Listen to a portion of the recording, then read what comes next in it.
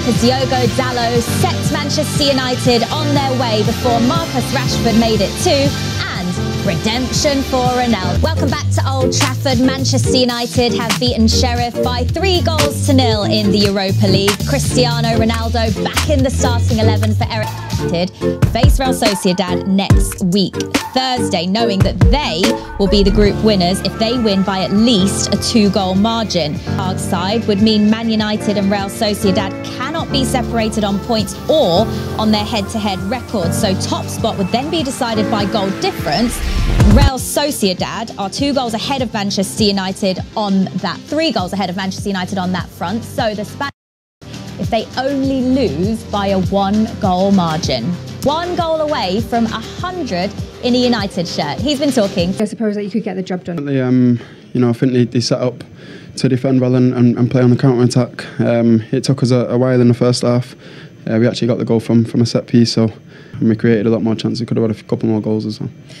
A sense from the team coming into the break at half time of, of frustration that, that um, I think it's a, it's a mix, you know, between frustration and just calmness. Uh, you have to be calm to keep creating the chances. Um, I think the fact that we scored just before half time is a big help. Um, to, to come off the bench and, and make an impact on the game, you just won a landmark 100 goals for, for the club. Did that enter your thoughts at all? it's about getting the job done. You know, um, it's it's it will be nice when it does happen. Um, you know, it'd be a great achievement for, for, for myself and for my family. You know, we, not, we have to go there and score two goals. We have to win by two goals. Um, so you know we'll, we'll we'll do what we always do. We'll try and create chances, try and score goals, um, and but you know we're looking forward to the challenge. Yeah, I think um, you know it's it's took a lot of hard work um, and a lot of time as well to, to adapt and change. Um, but we're understanding it more and more now. Um, you know we are keeping more and more clean sheets. We're defending better.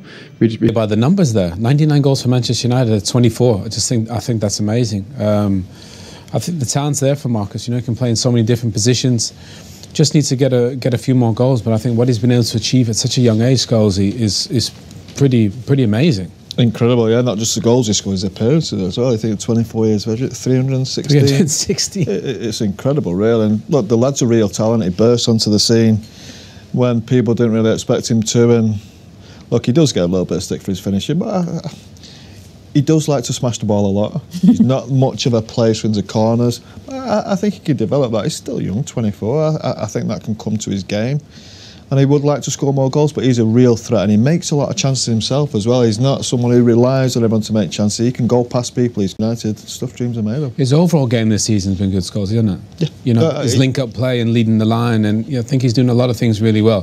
The goals will come. 99 to 24. I mean, that is it's amazing. By the time he's finished, he could have 250 goals for United, which is. I think under Ten Hag as well, he's he's found a little form. And actually, you'd say over the last 18 months, he's been a little bit quiet, maybe confidence had gone a little bit. But I think under Ten Hag, he's had a, a new lease of life. Why do you feel to Eric Ten Hag? Multiplayer, Marcus. You know, he's got so much talent. He's got everything you need to be the perfect uh, attacker. You know, can play multiple positions. He's quick. He's got great size. Goals. You say he's got great technique. Um, everything's there. I just think obviously when you start and you burst onto the scene, you do so well. I think his confidence has been hit. You know, they had a lot of options in there with Ronaldo and Martial and all these different players, and he hasn't always played all the time. So. Um, I, lo- I, I love his talent, I really do, and I think he's you know, he just needs to be a little bit more consistent in front of goal, and it, the goals will fly in for him. He took his goal well tonight. The goal ahead, I'm not sure. I think he likes to be outside the box, uh, you know, having shots because he, he likes that. But in there, there's plenty of goals, especially the way they dominated the game, United, with all the possession. If he's in there, the goals will come for him. Six, which is more than he scored in the entire of last campaign. Is he hitting form at the? Uh, as an English, uh, ex-English English player, yeah, of, uh, of course, yeah. As we said, he, he, did have a bit, little, little bit of a lull in his career, and I think Ten Hag has really come in and given him confidence. He, he's his main man, I think, in them attacking areas. He's always fit. He's, he's, he's never injured. And as always said, he, he's got everything to his game. You would like to see his finishing. The only thing you'd like to see his finishing get a little bit better, but he creates chances for himself. He can play on the left-hand side. He can play through the middle, play on the right-hand side.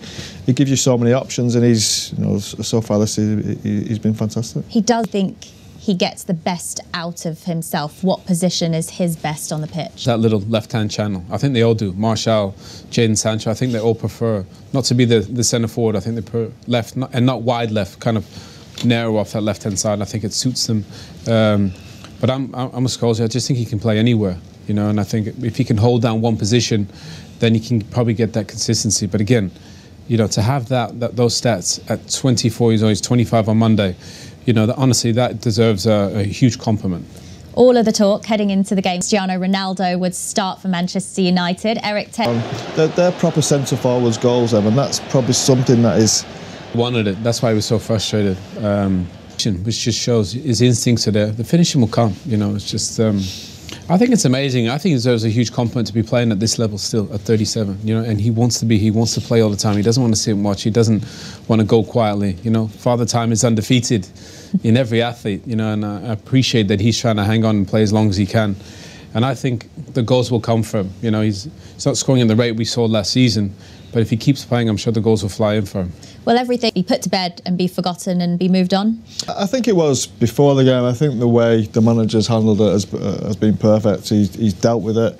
He's come to this game. He's got prepared for this game, and, try not to answer any, any more about it. It's done. It's dusted, dusted, as we said before. And Cristiano's not somebody who'll think about what, what's happened in the past. He'll only look forwards now. He'll try and score as many goals as he can. Is he? Will he still be here for the rest? I, I, think he will be. I still think he has a lot to offer. It won't be in the way that he wants, but I think he'll, he'll probably come around to understanding that now. There'll still be games when he's needed and his goals will be needed because he, you know, he, he produces most of the time what, what his club needs. And, and this team, they will need important goals going through the season if they're going to be successful. And I think he's always handy to have around was the youngster, 18-year-old Garnacho. What can he learn from this thing on the pitch with him? The right-footed winger playing on the left-hand side. Sometimes they can't go down that left-hand side, but he did. He, he could do both, and it makes you so unpredictable. As Owen said, he probably missed an assist and a, and a goal, but I thought his performance was exciting, really exciting for an 18-year-old kid and he really is one to look for the future. He'd only five minutes in a Manchester United shirt before tonight, so this was really his biggest opportunity to show the manager what he can do across. He, he didn't disappoint. I think the fans would have loved him. We all enjoyed. Show his family he'll have a, a, proud moment. You know, all these guys come from such a far place to to achieve their dream to play out there on Old Trafford is, is a beautiful thing, and I thought he, I thought he did fantastic tonight. Has he proved to start in the Premier League at the weekend against West Ham? Would you? Um, or neither? yeah, difficult to say. Still, still very young. Um, you're playing against opposition, opposition tonight, which isn't the strongest. We we all appreciate that, but I, am not sure start on Sunday or Thursday. But it's definitely an option for the manager. He's definitely him something to think about. He could be one to come on for the last 20, 30 minutes. He could be, as you say, more dangerous. Some of the players that I've been playing every week because because of the basic fact he can go past people on on either side and you know, there's not that many wingers who can do that these days. And look, he's uh, when when you come into a team, you have to take your chance as a young player. We, we talked about Marcus uh, as a young player burst onto the scene. You have to take your chance, and I think tonight, I don't think he's done himself any harm. Do you think he's made a case to start? Maybe not start, but he's he's in the manager's thoughts now. Whereas obviously before with the, the minutes you said he he, prob- he probably wasn't. He's in now. You know he's in. But they've got you know they've got Sancho, they've got Elanga, they've got Martial, you know Antony. They got all these different options. But if he plays like that, he'll he'll definitely play a lot more. Goals to nil, and they're now seven matches unbeaten under Erik Ten Hag. We'll get the thoughts of the Manchester United manager after the break.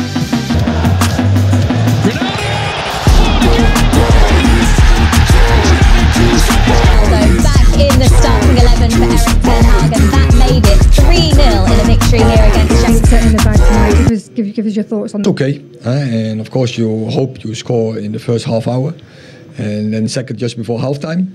So that took a little bit long, uh, but I think we deserved that goal, and then you score from set play. Uh, perfect. More goals and good goals out of open play. So I'm happy with that. Also, will give nothing away.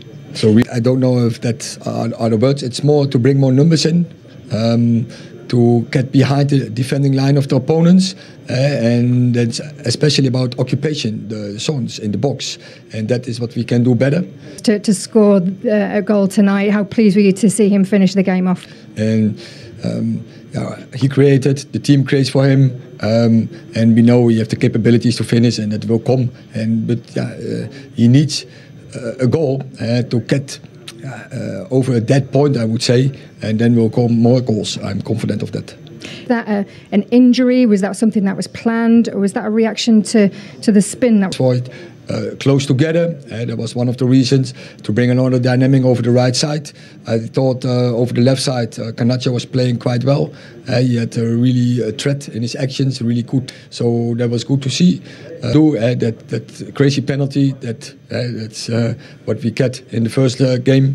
Uh, um, yeah, we have to deal with that. So that means we have to to win there. and We have to win with two, two goals difference. And More or less. more or less. Um, I think it would have had a little bit of something to do with it. I think you saw his reaction on the bench. I think it frustrated. Or even before that, the first half an hour, 40 minutes, whatever it was before that. Or if you're He- he 4-0 did up. nothing in the game.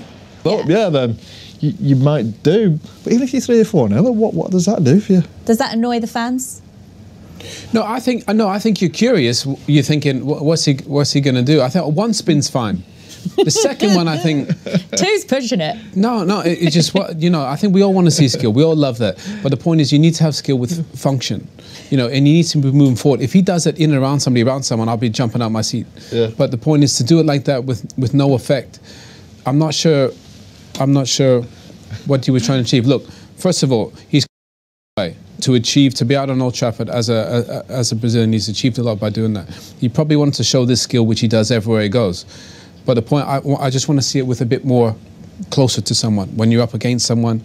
Um, but it, look, that's his that's his skill. He likes to do it. I, I'm not even sure it's skill, is it? It's, I, I think It's- it's, it's- it's his thing, do that, Scholes, couldn't isn't we? Couldn't we do that? Yeah, but I think he he, he probably wanted to he probably wanted to show people that he, It's, he's it's, trademark, you think? Yeah, it is. Yeah, I think he just wanted to do that at Old Trafford. But the point is, do one and then get forward and then take somebody on. I think he needs a better one. don't?